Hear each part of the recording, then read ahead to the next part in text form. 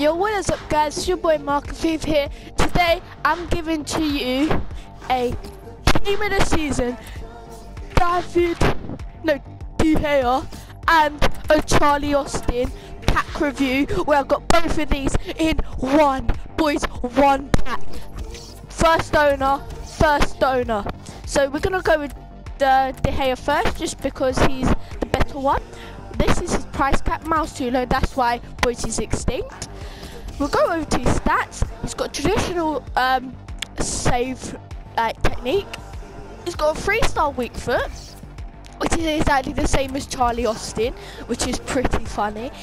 He's got three plus 90 stats, two plus 80, and then one quite low one, which for a keeper is brilliant. I don't think this guy will let many goals because of the uh, because of his statue because he's six foot four. And to me he's a young keeper. He's about 20 or like 24 25 which is really good in a keeper. And i think this guy could be a really good player. Going into his details quickly. Just shows that how good he really is. And also what I like about De Gea, he's Man United, which fits into a lot of Premier League clubs, and then he's Spanish, which fits a lot into a lot of Spanish sides. Going into Charlie Austin now, I was excited about this guy, but I wasn't too excited because, like, as a striker in this game, it's all about sweat, and this guy isn't really a fast player.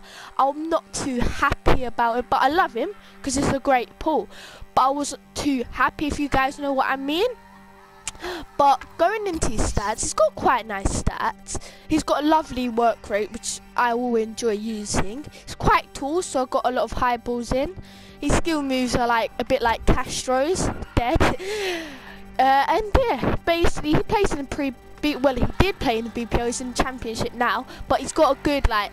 He's got a good nationality, which can link him up with a lot of players. And now I'm going to show you the other guy I pulled, which was Theo. Theo. Theo. Like, guys, guys, you don't, if you got Charlie Austin, that's fine, because you can just sweat FC with Walcott. And then I'll just quickly show you the last player I pulled. Zlatan Ibrahimo. Oh, oh. Alright, boys, that's the end of the video. I hope you enjoyed this team of the season. David De Gea and Charlie.